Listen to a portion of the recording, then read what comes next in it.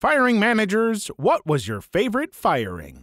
I had a repo man working for me who was enormous and had some anger issues. He'd stopped making his daily runs and was turning in false trip reports. I called him into my office to discuss the situation with him, and it rapidly turned into him yelling at me, including phrases like, You're not my dad. Weird, I know. Anyway, my boss comes in to try to calm him down and told him to go home and then come back the next morning to discuss the situation. As soon as the repo man was gone, I told my boss that I was firing him if he came back. My boss told me that he'd take care of it because things would get too messy if I did it, which may have been accurate at that time. I was instructed to stay home the next morning so that the boss could talk to the repo guy. I came in at around 10:30 a.m. and there were 3 cops in our parking lot and as I walked up to the building our repo man was being dragged out in cuffs and cursed out one of our salespeople who just happened to be walking by. When I got inside, I found the boss's office thoroughly trashed with chairs and paperwork everywhere. I'm sure glad I wasn't there to make things messy. The repo man called another manager who was a friend of mine looking for a job the next week. I'm sure glad that I wasn't there to make things messy. Ha! That totally made the story. Well, that sounds like it could have gone a lot worse. I mean, not a lot worse, but at least he didn't get violent against people. Working as a waitress over the summer, about 16, one of the meanest girls in school, Veronica, worked there too and would often switch up our tables halfway through a shift to take my tips. Bump into me when I was carrying a lot of trays, petty things. One day, the manager pulled me aside and said the owner had ordered her to fire Veronica. But she and Veronica's sister were good friends. Could I do it? that was a good day. Oh, nice. I once had to fire a woman who decided to not give a man his seizure meds and tried to frame it on another employee so she, in fact, would get fired. Firing that woman was amazing. Used to manage a pizzeria. Had a shift leader that told me he needed to leave because his son went to the ER. This was like 10 minutes into his shift. I let him leave and closed the store myself. His wife came in to pick up his paycheck a few days later, and I asked if everything was okay with their son after the ER visit. She had no idea what I was talking about. Fired him 10 minutes into his next shift. Pro tip make sure you get your significant other on board when telling your boss your kid went to the emergency room to skip out of work.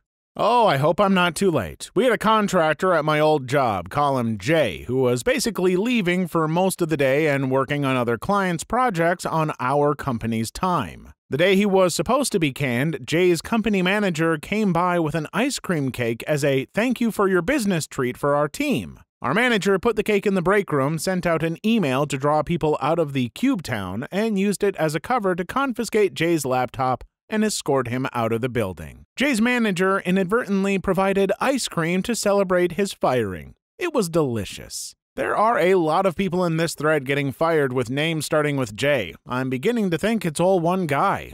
I fired this girl without the permission of my company once. Essentially, I had been told to hold on to a freelancer through the holiday push, utilizing her desire to get a full time role to ask her to sacrifice her own Christmas to make up for all the extra work of the season e commerce. I was informed that we weren't going to offer her a full time job, though, and I knew she had another full time offer with the other company she was freelancing for. She'd been holding out to work at my company and was at risk of losing the other offer while she was waiting to see what my company would do. Of course, they hadn't told her they weren't going to hire her. They instead asked me to imply that she would get an offer with a good enough holiday push. They were going to say any amount of work she did wasn't enough to get the offer and let her lose a real offer in the meantime. I essentially pulled her into an office and told her it was in her best interest to accept the other offer and to quit on the spot. I was pulled into a room with the CEO and some others to justify why she'd quit after talking to me, but I just couldn't have it on my conscience. She took the other job, and we made it through the holiday without her. I managed my team she was freelancing for, so I absorbed most of that extra work. But I'm so glad I chased her away instead of lying to her. This is not a thread where I expect to hear a lot of heartwarming stories, but I'm glad we got this one early. Good on you for having actual morals and helping that person out. My absolute favorite was a guy my boss hired who was an absolute whiz in the shipping department. He'd find people on the golf course, talk with them while golfing, and hire them. The guy comes in, and I learn he's been hired with a quick phone call to my GM, so I get all his paperwork filled out and send it over to HR. Give him a good orientation on the company rules, break times, lunch, etc., then walk him back to shipping. Jake is my manager back there and a good guy. He's not the fastest, but he shows up every day, does an adequate job, almost never makes a mistake, and if he does, he fixes it without being a little bee. I hand off the new guy and go back to work. A little over an hour later, it's break time, and I go to see how the new guy is doing. I stop in with Jake, and he says the new guy is out back and says nothing more. I find the new guy out back smoking a bowl. He looks up at me, clearly stoned, and says, Hey, computer dude, what's happening? Me. Come up front. I need to fill out some paperwork on you. I'm letting you go for violating our drug policy. The policy I read to you about 90 minutes ago? Him. Dude, that's fricked up. I quit. Wow, must have been high while touring, too. A boss hiring someone for you who turned out to be bad for the job. Well, this seems like a fun time to tell my only firing story. I was the delivery supervisor for a bakery and was supposed to be in charge of hiring a new delivery driver for our in town deliveries, but the owner of the company hired someone sight unseen because he was in the delivery business. Well, I get there, and it's a guy in his 60s who can barely walk faster than a shuffle. Turns out his delivery experience was tossing newspapers out of his car window while driving around. The guy couldn't even carry the flats of products into the delivery van because of his bad back. He was nice, but literally just couldn't do the job. So I called the owner of the bakery, told her I was firing the guy, and that if she didn't let me hire the next person, I would quit. That was almost 10 years ago, and guess what? The guy I hired is still working there doing great. This might be the longest comment I've ever left. Yikes. Oh, by the way, I did try for like two days to figure out ways to accommodate the guy so he could do the job, but he was unwilling to even try half the stuff I suggested. Just insisting he just wouldn't do that part of the job and would leave it for me. My boyfriend's story. He fired a lady in her 50s at Walgreens because instead of patiently going through this customer's intense coupon book, she became extremely frustrated and just told the customer to leave. So she essentially allowed a woman to walk out of Walgreens with upwards of $200, all because she was too lazy to enter her coupons. Why don't I ever get people like this when I'm out shopping? Had to fire an IT support technician because he stole an admin username and password, logged into Active Directory, and changed his job title to Ninja Computer Wizard. Also had to fire a guy because he got pee drunk one Saturday night and decided to visit the office.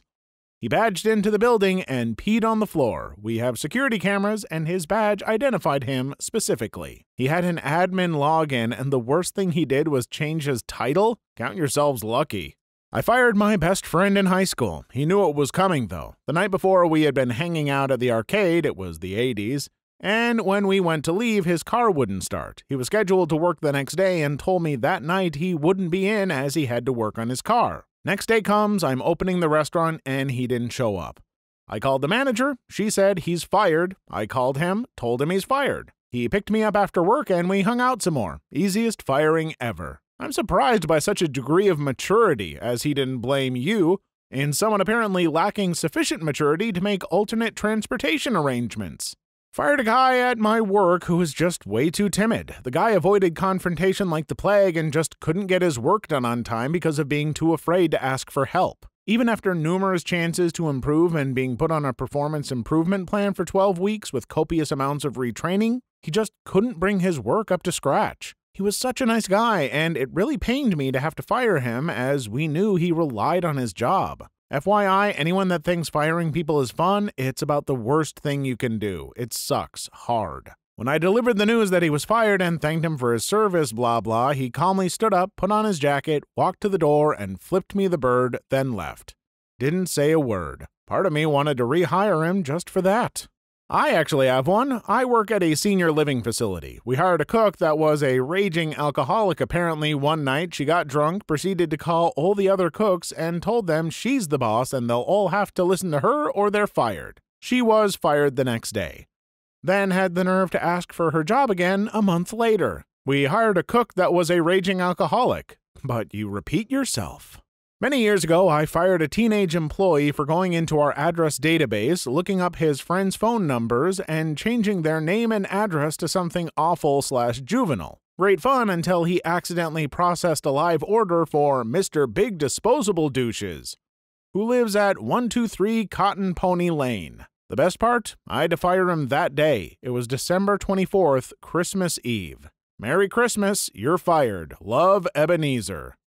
Practical jokes at work are often necessary in order to not lose your mind at some jobs. Knowing where the line is for those jokes is also necessary.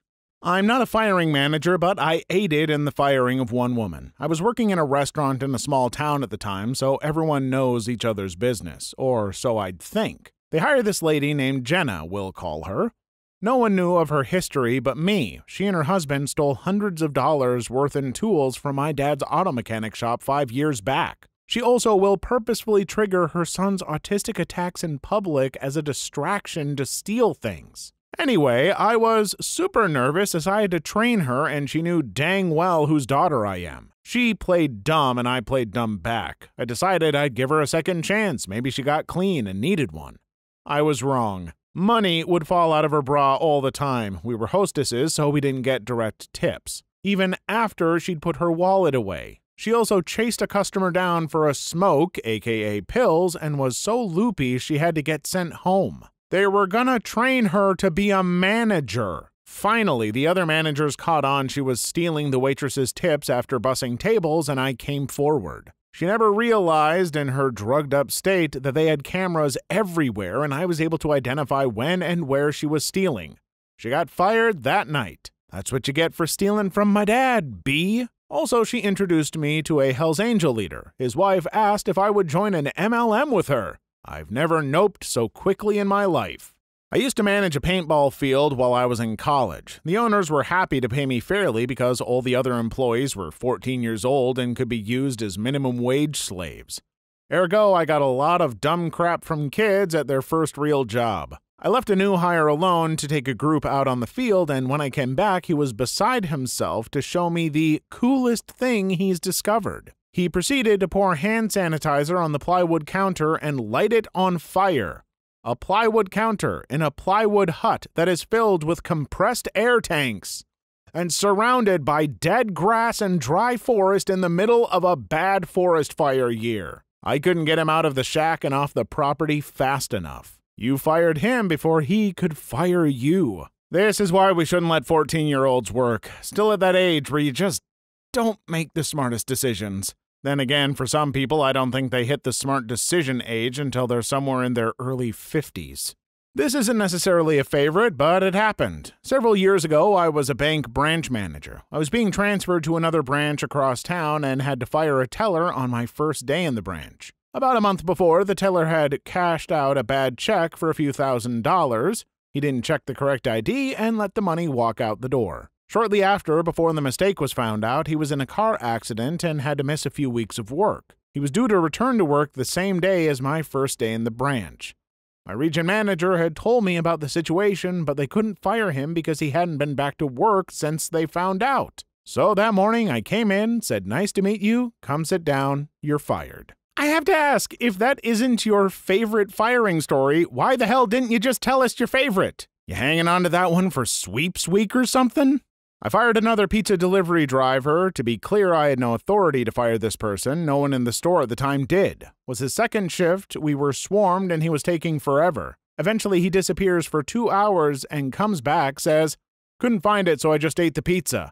I told them to get the frick out and never come back.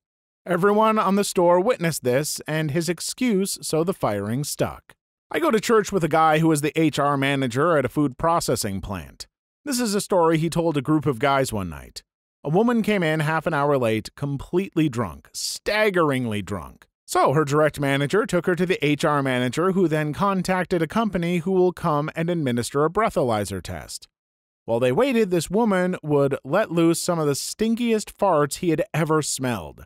She wasn't even trying to hide them. She would lean over, let one loose, then giggle. Once the company came to administer the test, she wouldn't blow hard enough to register a reading, which means noncompliance. Three noncompliance attempts means an automatic firing. That is how it ended. She was escorted out of the building. And just like that, she was gone, like a fart in the wind.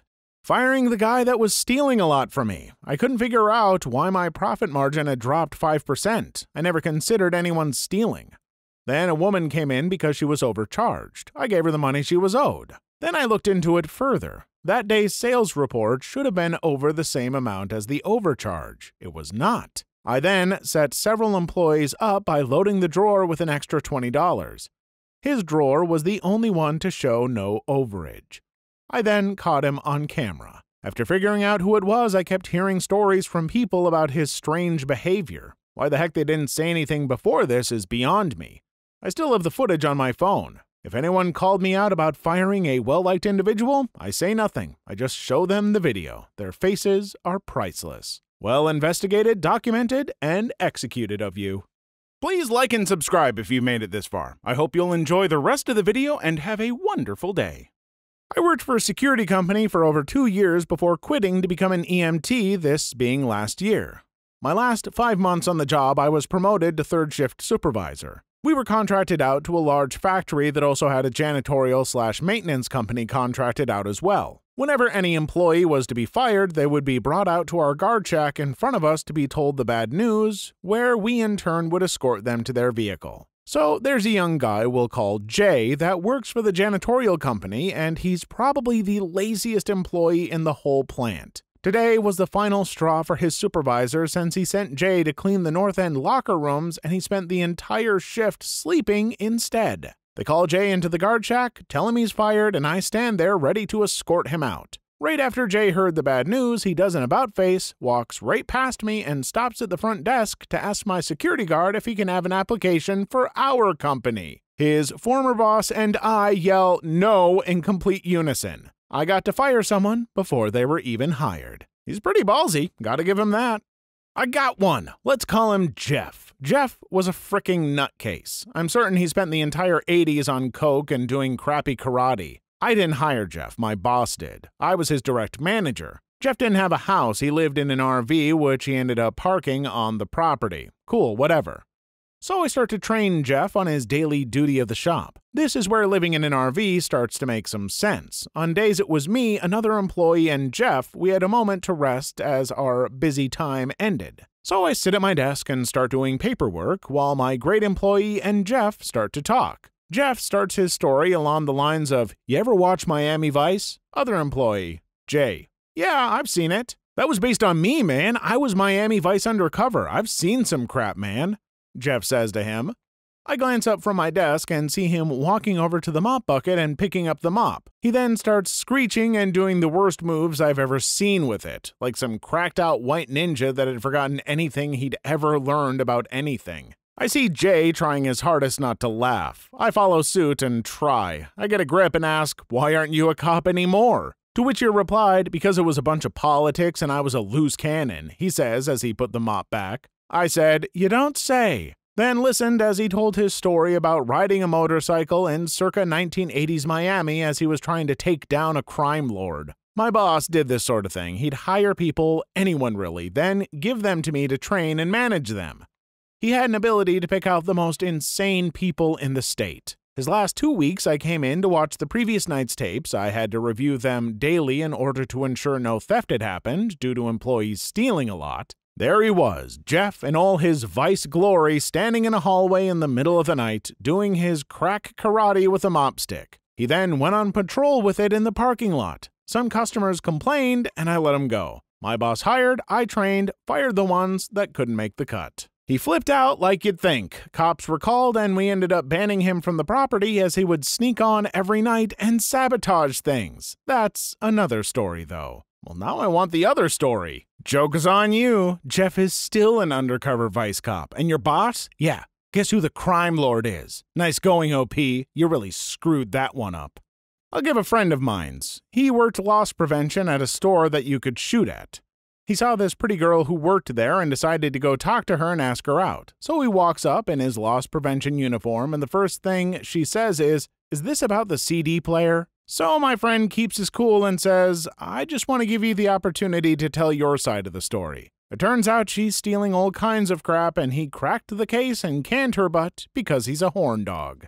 Out of all the firings, I only had one that I actually got enjoyment out of. I had a girl that was young, just a few months past 21. She was already on her final strike for a no call and not doing her job well at all. She was set to open with another girl at 9 a.m., with me already being there since 8:30 a.m. First thing when I walk in the door, she's calling in sick with a horrible flu. I tell her to rest up, and if she needs extended time off, I'll need a doctor's note. I'm annoyed, but she called, so whatever. However, once one of my openers came in, her world was destroyed. See, when you're Facebook friends with all of your coworkers, they can see all your updates. So when you post a photo of yourself completely crap faced four hours before your shift with the caption, so frickin' wasted, you kinda buy your own death certificate. I seriously laugh whenever I think about it. I get the feeling she does too. Ah, yes, the old beer flu.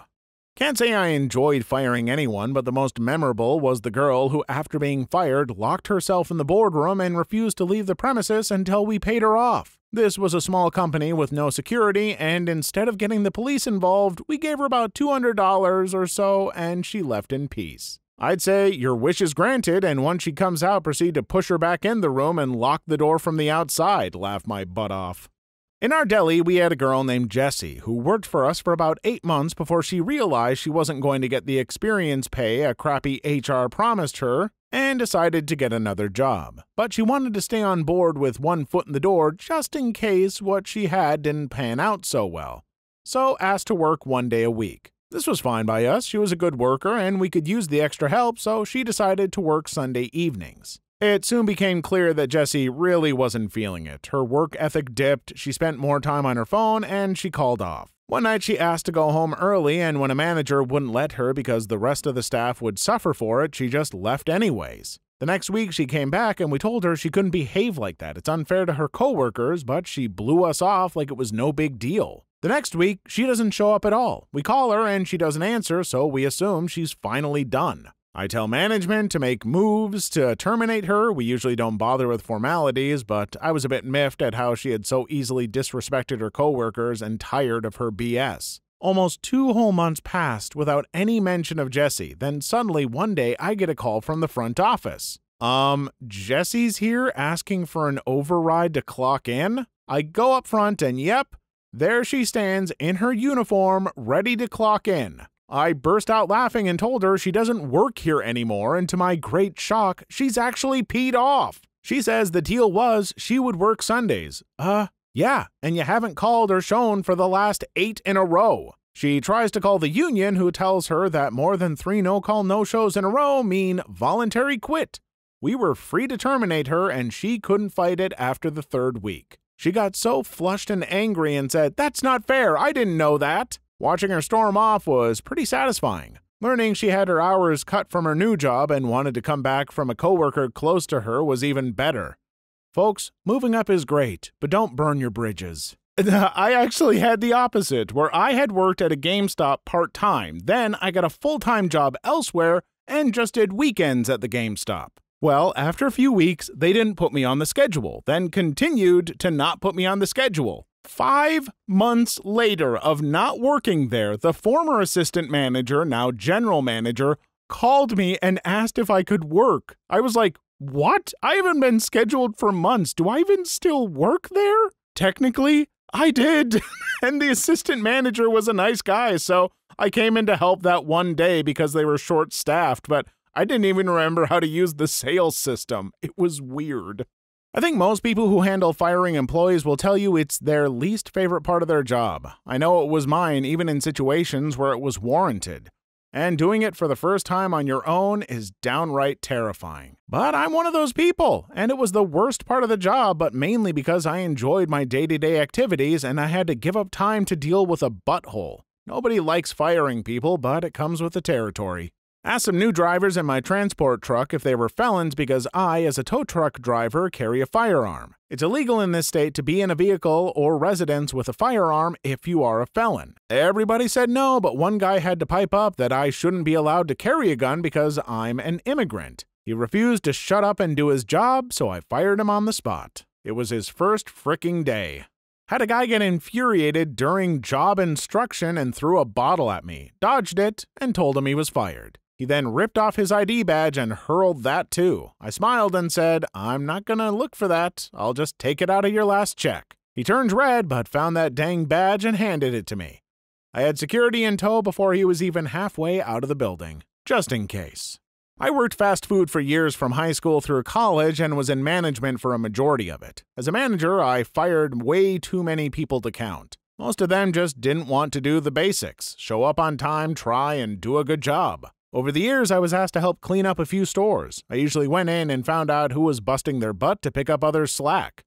I would give that person a good raise and either fire or cut the hours of the slackers. The store would take off in a positive direction. The guys busting butt have more money and are happy. The customers are getting better service and are happy. The morale of the entire store goes up. The owner is happy because he is saving labor and seeing more revenue. Happy owners tend to give out more perks for everyone. So firing the bad apples was pretty easy as it made a lot more people happy. What amazed me is the parents that would get their kid fired. We had a schedule and everyone had to put in time off. Parents would call in and say their kid wasn't going to be there because they just decided to go out of town that weekend. They thought the job was some sort of after school club. Please leave your story in the comments. I would love to make a video on them in the future. Also, don't forget to like and subscribe.